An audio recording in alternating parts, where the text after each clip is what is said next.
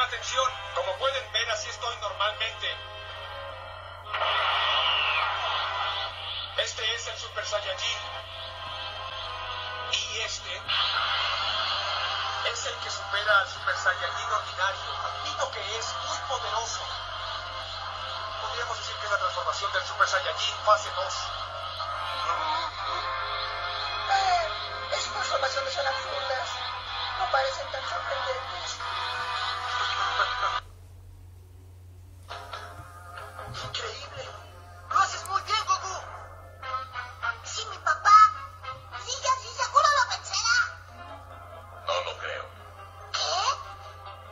Verdad que Goku es increíblemente poderoso para nosotros.